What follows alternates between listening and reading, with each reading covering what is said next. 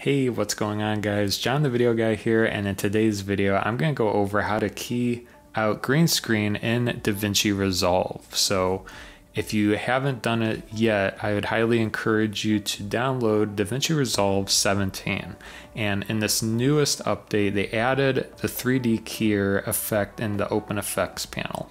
And this is very powerful and really helpful for keying out green screen video inside DaVinci Resolve. So let's get started here. I'll show you how to work with this and how easy it is, especially for YouTube content creators or people that don't want to get that advanced with green screen. But before we get started, I would really appreciate if you hit the like button. It really helps my channel out. And with that, let's get started.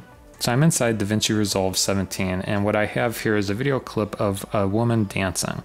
So I'll drag that out to my timeline here. And you can kind of see this is a difficult green screen because we do have shadows. This is going to be difficult to key out. So, you know, this footage isn't the best. So hopefully this does the trick. And what I have is just basically like a light thing. Basically, she's going to be dancing in a disco, partying hard. So what you're going to do is click on the clip and go to your effects library and go down to under the area where it says resolve effects key and 3D keyer. And we're going to drag this out to the clip and you don't see anything yet. So it's important to switch here to the open effects overlay. And this will change basically the program view and under the effects tab under the inspector. So make sure this guy is open. The effects, open effects, and then this is our controls. So if we click here, and voila, there we go. That's all you need to do.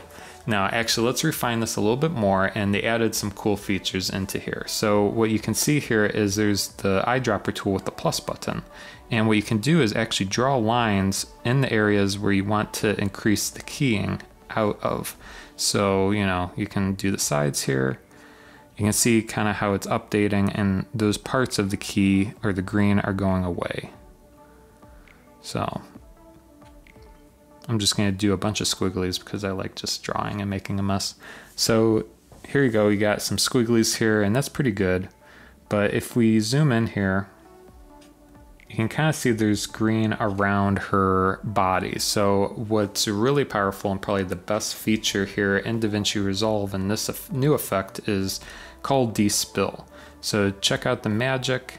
Once you click that, it basically replaces the green with a matte or some type of decolorating decolorating effect where it replaces that leftover green with basically another color or subtracts it out somehow. So that is the magic in this effect. It's really powerful. You don't have to have a really strong background and keying.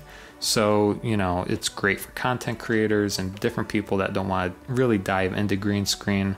Uh, you can see I did this really quickly. I mean, this is going to end up being a very short tutorial. I'm at four minutes right now. So this is great for people that don't have to add several effects or get really into keying and refining the key for green screen. So this is great. I hope this tutorial has helped you if you're looking for an easy green screen remover inside DaVinci Resolve.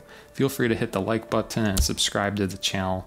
Thanks so much for watching and we'll see you next time.